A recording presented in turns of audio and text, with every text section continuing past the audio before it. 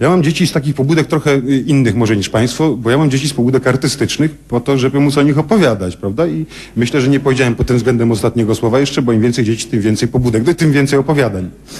Starszy syn, Kacper, zajął się komputerami i jest y, dosyć mało tekściarzem, nie uzewnętrznia się, co najwyżej jak tam nie idzie mu Tom Prider, to słyszę, o żeż ty, Laro, ty. Mówi do Lary Croft, młodszy jest niezłym tekściarzem, młodszy Bałtroś, ale Kasper też ma niezłe ujawnienia takie. Kiedyś pamiętam, jak była pierwsza komunia Kaspra, ja nie poszedłem do kościoła na tę pierwszą komunię, potem to przyjęcie w domu było, ja biorę Kaspra, miał wtedy tam 10, 8 lat, nie pamiętam kiedy to było. I mówię, przepraszam cię Kasper, ale że nie byłem na tej twojej pierwszej komunii, ale wiesz, no trochę nie bardzo wierzę. Nie moje miejsce, nie chciałem tam chodzić, no nie najlepiej się czuję. Przepraszam ci po, przepraszam ci po prostu, no nie bardzo wierzę. A Kasper na to, nie przejmuj się, to tak jak ja.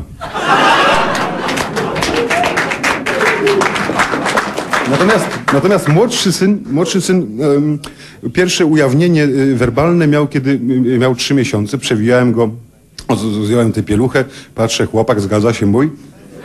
Na tego, I on tak nagle popatrzył na mnie takimi bo, bołatnymi oczętami, wyraźnie i powiedział Amandzia. Ja mówię, powtórz, synu, powtórz. On już nic z tego. Miał trzy miesiące, teraz kiedy go pytam, co chciałeś przez to powiedzieć, mówi, że nie pamiętam, co to było z tą Amandzią. On teraz jest Batmanem, o czym być może Państwu kiedyś komunikowałem. Wchodzi do przedszkola i pani mówi, cześć Piotrusiu. Na to Piotruś, nie jestem Piotruś, jestem Batman.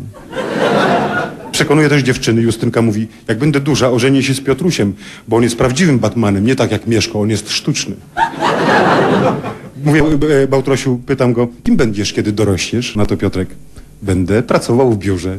Ja myślę, kurde, wreszcie jakaś kariera w rodzinie. I co będziesz robił w biurze, synu? Pytam. Będę pisał na komputerze. Mówię, a co będziesz pisał? Że jestem Batmanem.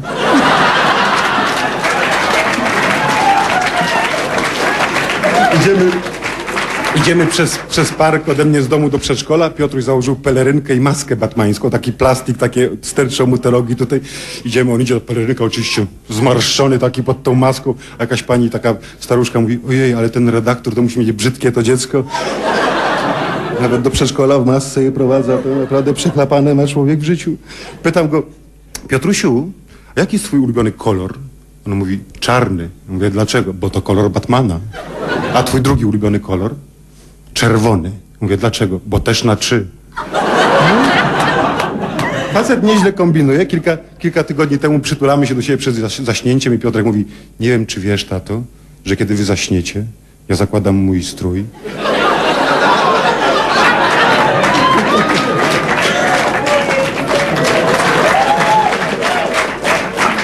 Nie wiem, że kiedy, nie wiem, czy wiesz, że kiedy wy zaśniecie, ja zakładam mój strój i lecę pomagać tym, którzy potrzebują mojej pomocy.